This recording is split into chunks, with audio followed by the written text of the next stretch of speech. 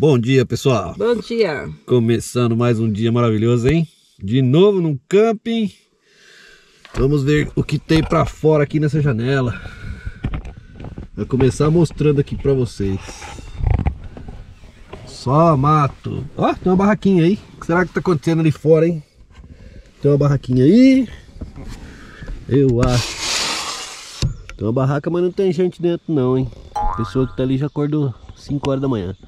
Tem uma barraca de teto ali.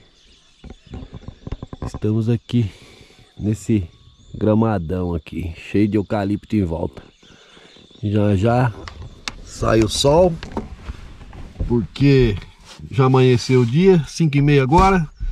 E eu sou obrigado a levantar, pessoal, porque já sabe, né? Dona Ju tá aqui, quero café da manhã, quero Ah, tomar... já que a gente acordou, vamos tomar café da manhã. É, já acordou, tem que levantar, tem que fazer comida, porque aí o reloginho biológico dela desperta.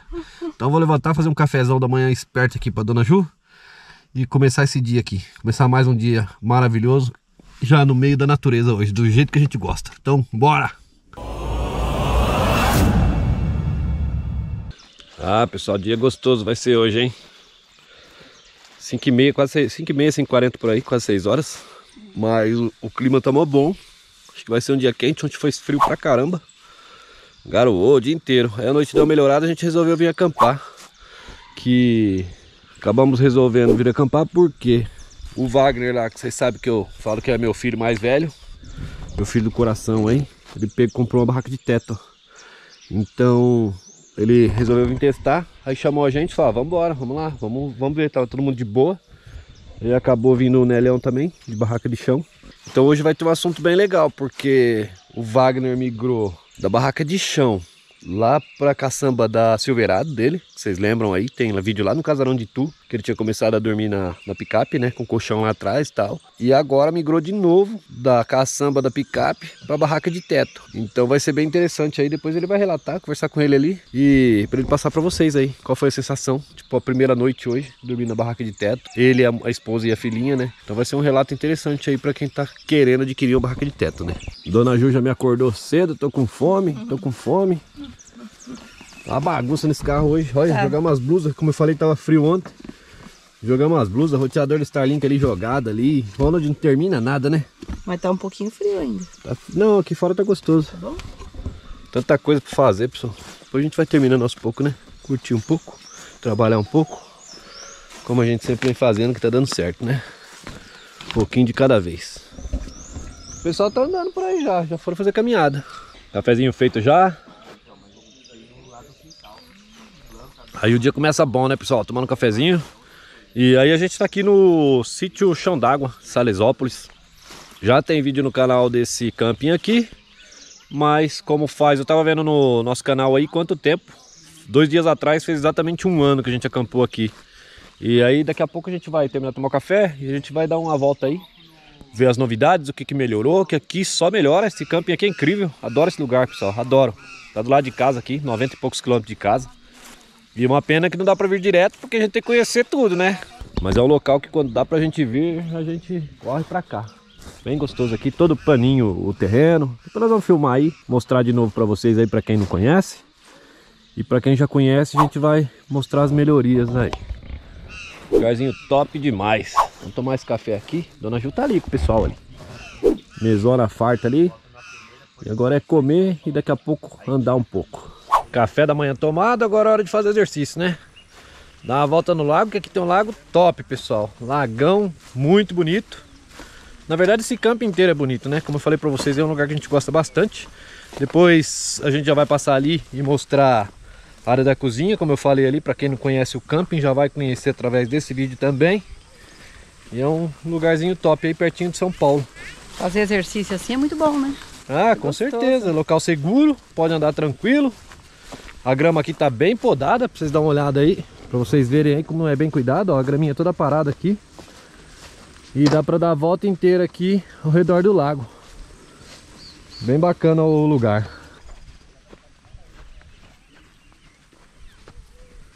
Caminhadinha feita, agora nós vamos mostrar pra vocês aqui como tá a cozinha. Vou passar uma porteirinha aqui.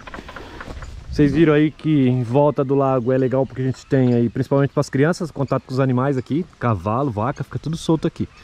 Então na parte de cozinha e banheiros, tem um tipo um quintal aqui. A gente já vai falar já sobre esse galpão aí. E tem a porteirinha aqui pro gado não entrar, né? Na área de camping, tudo protegido. Gente, eu sou apaixonada por esse espaço. É, a Ju quer morar aqui de qualquer apaixonada jeito. por esse espaço. Aí passa ali, fecha a porteirinha para não ter problema com os bichinhos. E a gente chega aqui na cozinha do camping, cozinha comunitária. Aí tem alguns banquinhos aqui, o pessoal fica à vontade, banco ali. Uma cozinha rústica. Muito bacana aqui. E aí tem o básico aqui, lógico, né? Uma cozinha rústica. Pia e fogão a lenha. Ele deixa uma chapa ali, sempre tem lenha aqui embaixo também. É bem tranquilo. Então um fogão para usar à vontade. Pia, tem algumas, alguns balcões aqui do lado, né? Uma mesinha, um cepo aqui, uns banquinhos. Dá para fazer uma mocinha aqui tranquilo no fogão a lenha. Tudo liberado aqui no valor da diária, tá? Pode usar à vontade. E aí ele tem esse galpão aqui. Esse galpão é bem interessante, tá fechado ali. Fica fechado sempre, tá? Não é para uso de campista, isso aqui é para locação. Então de repente se você tem um evento maior aí, um aniversário, alguma coisa, você pode locar o salão com ele. Inclusive tem ali onde o pessoal tá, tem um mini palco ali. Que aqui também eles fazem algumas festas durante o ano, né? Durante o ano tem festa junina, tem... Dá uma olhada no Instagram deles aí, vou deixar embaixo aí no, na descrição. Tem bastante festas interessantes aqui durante o ano. Aí tem música ao vivo às vezes, né? Tem festa junina, vários, vários eventos aí. E mostrar pra vocês ali os banheiros agora também. Olha que interessante aqui, pessoal. Essa mesa rústica aqui. Vocês viram aí que o sítio é completamente rústico, né? Olha que mesa linda. Pra quem gosta de uma arquitetura diferenciada aí, envolvendo a natureza. Belo de um tronco. Agora eu vou mostrar os banheiros ali pra vocês. O sítio tem iluminação aqui, a área de campo que é um pouco mais escura. A gente vai falar ali já. Mas é até legal. Vou até apagar essa luz aqui que ficou acesa à noite.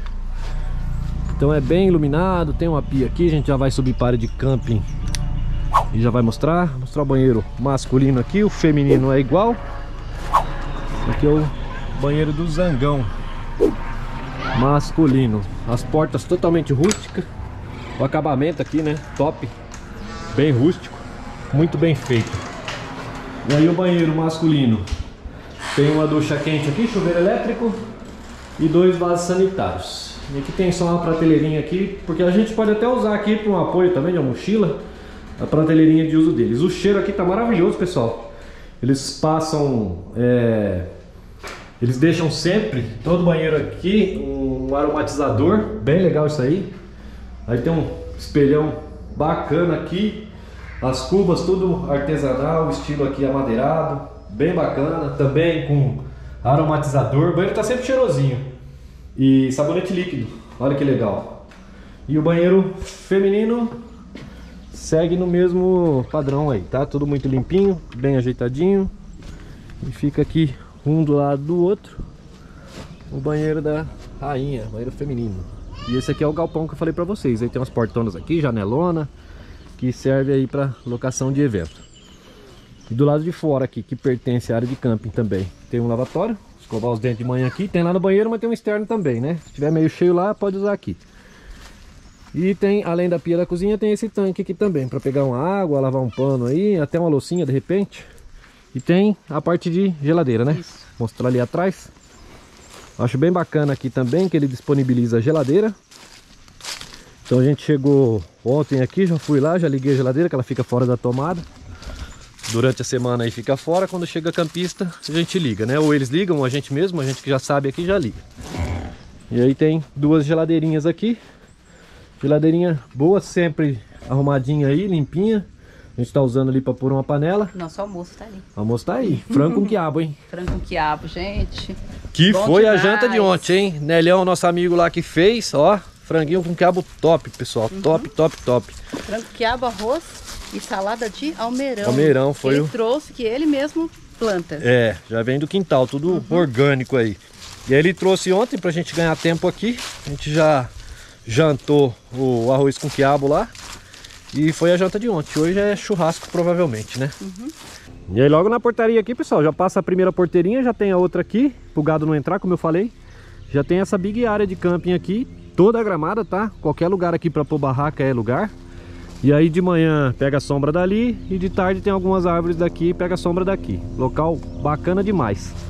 A gente com os carros aqui, tanto a gente na Pajero quanto o Wagner na TR4 ali, não precisamos nem calçar roda. de tão niveladinho que é o piso aqui. Então, localzinho top aí para quem tem esse tipo de equipamento, né? Ou mesmo na barraca, não fica rolando barranco abaixo aqui, né? Muito bacana nesse sentido. Camp muito ajeitado, vocês viram aí, né? E vou deixar contato aí, tá? Link na descrição e dos contatos. E agora vamos continuar nosso dia aqui, né? Começar nosso uhum. churrasco. E já já vou catar o Wagner aqui, que eu quero saber como foi a experiência de dormir na barraca de teto pela primeira vez, hein? Quero ouvir, hein? Que pra, com ele, já falei pro pessoal, com ele vai ser legal porque ele teve barraca de chão, depois Sim, caçamba da picape e agora na barraca de teto. Uhum. Bom saber o que, que, que, que ele achou melhor dos três, né? Experiência master aí. Então bora pro churrasco. Dona Ju vai tirar a bota, já caminhou? tá calor, já caminhei. Esquentou, né? Esquentou. E hoje tá pago. É. Vocês estão vendo aí que aqui os homens cozinham e as mulheres conversam, né? Que é diferente. Depois elas ficam reclamando que a comida foi mal feita. Mas aqui só tem fera hoje, hein? Só cabra bom. As duas no maior papo lá, a gente cozinhando, cara. Brincadeira aí, sem. a churrasqueira hoje é por minha conta, hein? Começando a fazer uma brasa aqui. Já, já colocar as carnes aí. E agora a gente está aqui no meliponário do Camp Chão d'Água. É, aqui além de camping tem o meliponário ainda. Então são aquelas abelhinhas sem ferrões. É muito legal porque o Roberto que ele manja pra caramba. Ele, você vem aqui comprar o mel dele, além do camping, ele explica tudo certinho. Aí aqui, pessoal, olha que legal as caixinhas. Todas as caixinhas de abelha aqui. Olha que bonitinho. Hoje tá um dia frio, então elas já estão todas aí com a casinha fechada. Uma ou outra só que tá abertinha aqui. Mas a maioria tá fechadinha aqui por causa do frio. Então o Roberto explica tudo certinho. É, muito didático aqui, né? Uhum. O, aprender sobre as abelhinhas, né? Muito. E principalmente essas que são sem ferrões, né? São abelhas sem, ferro, sem ferrão a casinha aqui, tudo explicando, muito didático, ele recebe também escolas aqui, tá? Então é um lance bem legal, e vai até lá embaixo, ó, que bacana. E tem também o mel aqui para vender. E além do mel também tem cachaça aqui da região, da região. Ô Roberto, confirmar com você, a cachaça é você que fabrica ou é da região? A cachaça, por enquanto, a gente tá só envelhecendo ela. Envelhecendo, né? E tem um alambiquinho, a ideia é de produzir aqui mesmo. É, então é produzido no sítio também. Além do mel, tem a cachaça, já tomei lá embaixo no galpão, é boa, hein? É boa. Assim, eu não lembro muito bem, porque eu comecei a tomar lá e foi longe a coisa, mas eu lembro que começou bom o negócio, depois eu não lembro o que, que virou. Então, o Roberto tá sempre aqui. Chegou no camping, ah, quero mel. Só chamar o Roberto que você acha ele aqui, tem mel e tem a cachaçinha ali que tá só no, no barril lá. Pronto, tá tem data já para ficar pronto para voltar Olha, no camping? Normalmente a gente deixa aí uns 10 meses, é, quando tá com cambuci. Quando tá 10 meses a gente tira, né? Tem uma leva para sair agora já, nova. Então logo logo eu vou voltar aqui no camping, pessoal. E vamos pegar o mel aqui agora com o Roberto e mostrar para vocês o mel. Ó, pessoal, o mel do Roberto aqui é coisa linda, hein? Dona Ju tá ali intertida. Pra passar na torrada, hein? Própolis. Mas a gente vai pegar um mel e um própolis. Mas olha que coisa linda esse mel aqui. Aqui já tá de tardezinha aqui, não dá pra ver muito bem. Mas a gente já... Toda vez que a gente passa por aqui pela região, a gente pega dele. Quando a gente veio acampado outra vez também, já levamos, né? Melzinho top, hein? Dura aqui quantos dias? Uma semana. Uma semana. Levar dois aqui e pegar um própolis também. O própolis também é bom aí, né? Um antibiótico natural, muita gente já sabe aí. Dá pra tomar com leite, dá pra tomar com um monte de coisa. Com chá, o que mais? Pode pingar assim puro? Pode tomar puro, pode tomar com água, pode tomar uhum. de um monte de jeito aí. Própolis, antibiótico natural. É, dá pra fazer um shot. É, dá pra misturar na cachaça do Roberto lá embaixo. e o Roberto tá fazendo... Legal ali o que ele tá fazendo, Nossa, é né? Lindo, lindo. É que ele tá conversando com o Wagner ali. Mas ele já tá preparando o alambique aqui, tá quase pronto, tá? Como ele falou aí, daqui um mês, dois já tá... A pinga já tá pronta aí, o, o barril, né? E aí ele vai tá montando aqui o alambique. Então quem vier aí nos próximos meses aí é capaz que já tá pronto aí. E aí ele vai fazer uma parte aqui para receber as crianças da escola também, uhum. como eu falei para vocês, tem aula didática aqui, as escolas trazem as crianças para tudo sobre o apiário aqui. E agora também o Alambi, que é bem bacana. E o Roberto também é guia do Parque Nacional aqui, tá? Quem precisar de um guia bom aí na região de Salesópolis, só chamar o Roberto. Contato aí na descrição também, tá? Tudo, sempre dá uma olhadinha na descrição do vídeo nosso aí, que a gente deixa tudo aí. Então, ah, quero um guia de Salesópolis, Parque Nacional aqui, só falar com ele aqui que ele tem todos os esquemas. E o cara é da região, então é um baita guia assim, que além de conhecer a região, manja pra caramba dos parques aí, né? Foi nascido e criado aqui na região. Eu tô em dúvida se eu gostei mais dessa casa aqui ou daquela casa lá de baixo. Essa casa é legal, mas a lá de baixo também é legal. Eu adoro essas construções. É que aquela lá é pau a pique, essa daqui é de tijolo, mas foi depois finalizada com barro também. Uhum. Então as construções ecológicas, eucalipto tratado, que é da região aqui também, uhum. é de essas matas feitas para corte, né? Muito lindo. Então ficou muito bacana o galpão. Quando tiver pronto a gente vai voltar e filmar o alambique como vai ficar. É pessoal, todo mundo de barriguinha cheia, um belo do almoço. O povo aqui sumiu tudo agora que apareceram. Caiu um para dentro da barraca, outro dentro do carro, outro desmaiou lá na, embaixo do pé de árvore. E já estamos finalizando aqui. As tralhas do Nélio já tudo pronta de camping. Já desmontamos tudo aqui da Pajero. Wagner já guardou a barraca. Vamos ver com o Wagner aqui como é que foi essa história da barraca, né? E aí, vamos contar pra turma? Bora. Como foi a, a primeira dormida numa barraca de teto, hein, pessoal? Falei pra vocês aí no começo do vídeo, o Wagner, quem não conhece o Wagner agora é o meu, tá gravando? meu filho, agora nós estamos gravando, ah, já tá. gravamos duas vezes, tá esqueci de apertar o foi, botão. Foi. É o meu filho de coração aqui, que tá sempre junto com a gente. E experiência, como eu falei no começo aí, é interessante porque começou a acampar com barraca de chão. Barraca de chão. E depois passou lá, vocês viram lá naquele vídeo no Casarão, né, em Itu, o Wagner com a gente lá também, com a Silverado. Colchão de ar lá Colchão inflável. Inflável na carroceria. carroceria com a capotinha. Ficou bem bacana também. Ficou legal. E agora migrou para facilitar mais ainda a vida. E outra, a Silverado, o problema da Silverado é que você não estava conseguindo andar com a gente por causa do 4x4, né? Exato. Ela vai, vai bem também, mas chega num lugar com barro, grama, Silverado, quem tem Silverado aí sabe que tem uns problemas de tração, né? E aí como ele tem a TR4, resolveu migrar para barraca de teto para ver se facilitava. E como é que foi? Valeu a pena? Valeu a pena. Gosto, foi a primeira noite, bastante espaço, gostamos bastante, foi, foi bem legal. Dorme em três, ele, a esposa e a filhinha de três anos, então um espaço tanto lateral quanto de comprimento, né? Sim, foi bem um espaço bem bom, tranquilo, né? E experiência nova aí para ele, pelo jeito acho que vai ser para os próximos anos aí. É, né? agora acho que a gente vai ficar... Fazer umas viagens mais longas, né? E é. quem não conhece o Wagner, vou deixar o perfil dele aí, tá? Tanto o pessoal quanto o profissional, acho que é o mesmo lá também, né? É o mesmo. Dentista, filho dentista aqui, filho do sorriso, sorriso para todo mundo.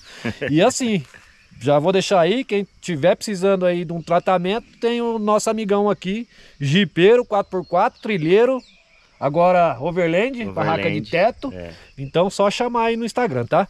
Bora. E então, agora vai continuar. Tá aprovado então? Aprovado. Vale a pena uma Indico. barraca de teto? Vale a pena. Tá aí, tá aí mais, mais uma voz, né? Eu ainda bato na mesma tecla que vale a pena uma pajeiro. E cadê a Ju? A Ju tá comendo. Suspeitei desde o princípio. De novo? De novo. A Ju tá ali, eu acho que provavelmente... Cadê a comida? Mas falam de mim, hein? Disfarcei, eu tava comendo, disfarcei. Ela jogou ali pra trás, pessoal. certeza, certeza. Você já conhece a Dona Ju, né? É isso aí, pessoal. Chegou a hora de ir pra casinha descansar, né? Preparar pro próximo rolê. Então é isso aí, um abração pra vocês e até o próximo vídeo. Tchau, pessoal.